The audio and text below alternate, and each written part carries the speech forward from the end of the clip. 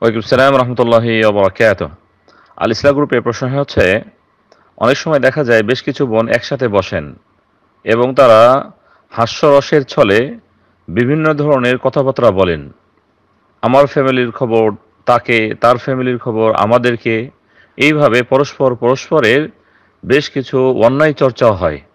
এমন আলোচনা, পর্যালোচনা হয় যে, আমার স্বামী এমন, আমার স্বামীর মধ্যে এই ত্রুটি রয়েছে। অমুকের স্বামীর মাঝে এই ত্রুটি রয়েছে। অমুকের স্বামী এমন, তার তো এই অন্যায় রয়েছে। তার স্ত্রীকে তিনি এইভাবে শাসন করেন। এইভাবে অনেক সময় অন্যায় চর্চা হয়। আর এগুলো কিন্তু হাস্যরসের সাথেই হয় হাসি মজাক করেই হয়। এক্ষেত্রে আমার প্রশ্ন হলো, এ ধরনের কথা বলা, এটি কি শরীয়ত বিরোধী হারাম কাজ?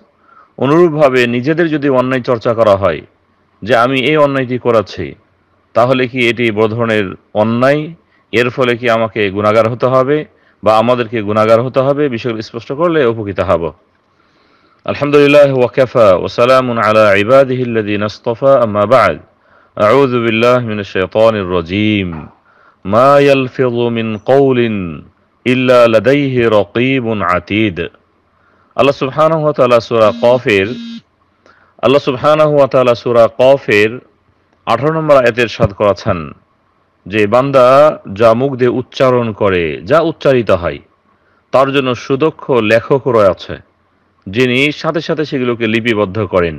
এজন্য চাই তিনি নারী অথবা পুরুষ, যেই হন না কেন, এবং যেখানেই হন না কেন, যেই অবস্থাতেই হন না কেন, মুখ দিয়ে আমরা যা উচ্চারণ করব, সেগুলো লিপিবদ্ধ হবে। সেগুলো যদি ভালো হয়, তাহলে ভালোর কথাতে লিপিবদ্ধ হবে। আর যদি সেগুলো অন্যায় হয়, তাহলে অন্যায়ের খাতায় লিপিবদ্ধ হবে। এজন্য আমরা মুখ দিয়ে যা উচ্চারণ করব, অবশ্যই সতর্ক হওয়া উচিত।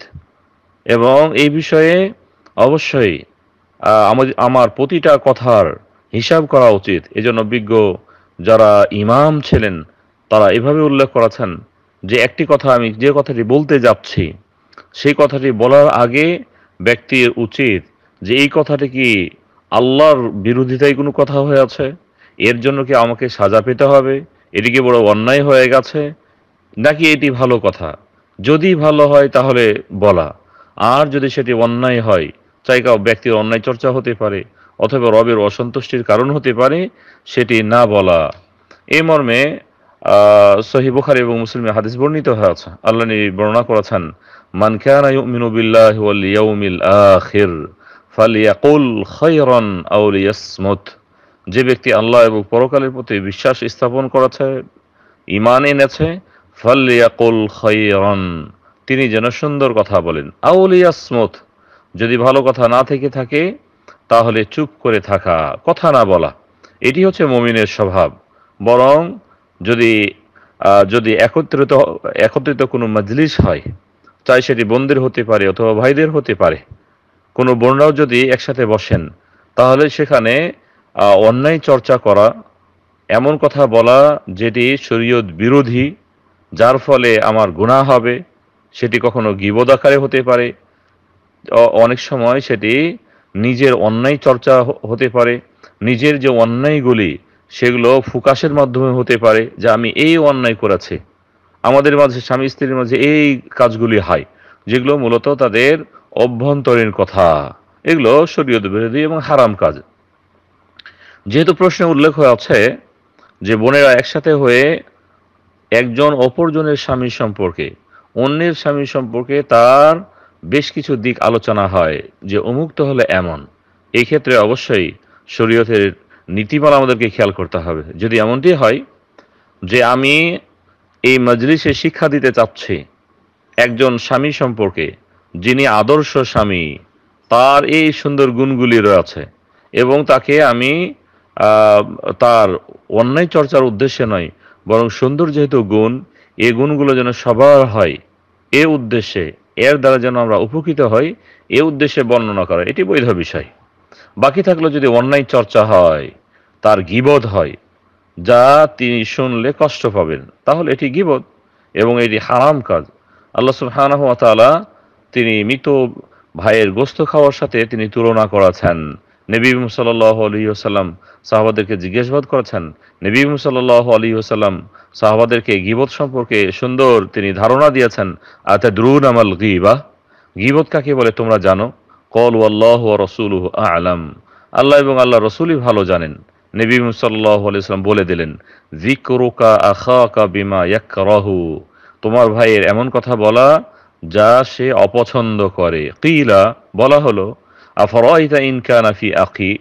আফরাইতা ইনকানা ফি আখি? হে আল্লাহ রসুল, আমি যে কথাটি বলছি, যে অন্যায়ের কথা বলছি, সে অন্যায়টি যদি আমার ভাইয়ের মাঝে থেকে থাকে, আল্লাহ নিয়ে বলেন, কল ইনকানা ফিহি মা তাকুলু ফাকাদ তুমি যদি তোমার ভাইয়ের যে অন্যায়টি রয়েছে, এই কথা যদি উচ্চারণ করো, তাহলেই তো তুমি গিবত করলে।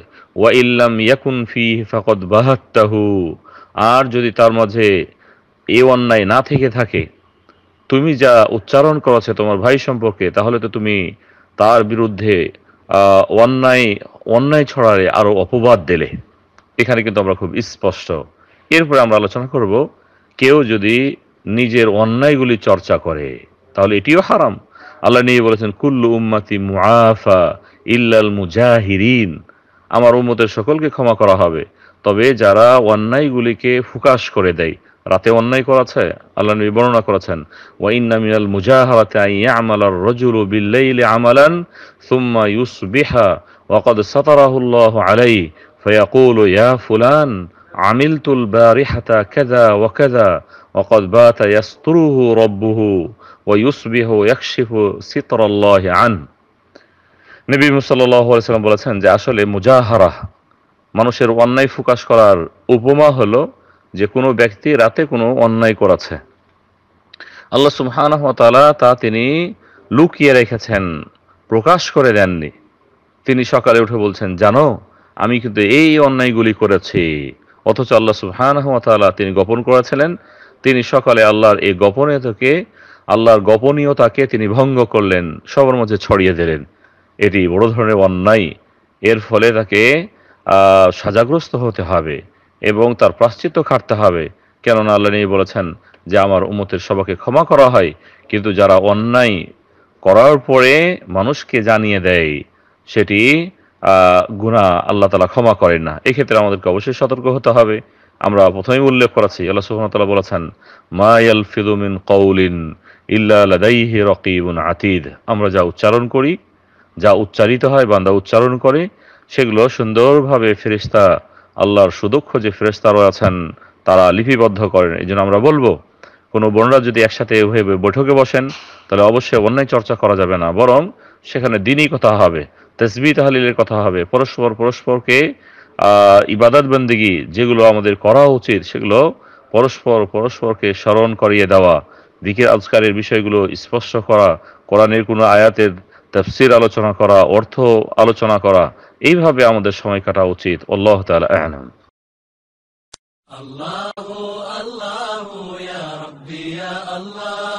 আল্লাহ